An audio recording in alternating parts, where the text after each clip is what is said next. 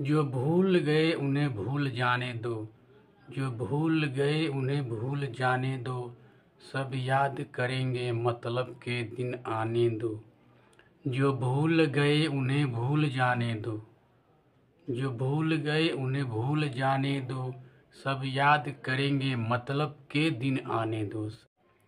हर कोई अधूरा है अपनों के बिना हर कोई अधूरा है अपनों के बिना, कोई रह नहीं सकता सपनों के बिना, कोई रह नहीं सकता सपनों के बिना।